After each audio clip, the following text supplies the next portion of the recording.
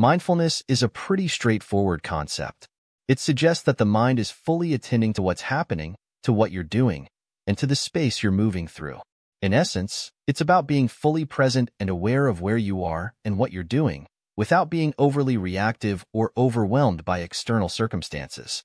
Here are some key points about mindfulness. Mindfulness is the basic human ability to be fully present, aware of your surroundings, and not excessively reactive to external stimuli. It's about being in the moment and paying attention to your experiences. Innate quality. Every human being already possesses mindfulness. It's not something you have to create artificially. You just need to learn how to access it. Cultivation techniques.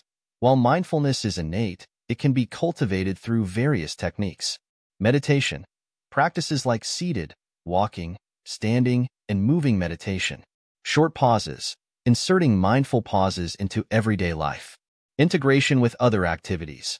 Merging mindfulness practice with other activities like yoga or sports. Benefits. Stress reduction. Mindfulness helps reduce stress. Enhanced performance. It enhances performance in various aspects of life. Insight and awareness. By observing our own mind, we gain insight and self-awareness. Increased empathy. Mindfulness increases attention to others' well-being. Facts about mindfulness. Mindfulness is not obscure or exotic. It's something we already do naturally. It takes many forms and goes by different names. We don't need to change who we are. We can cultivate mindfulness through simple practices. Remember, mindfulness isn't about emptying your mind.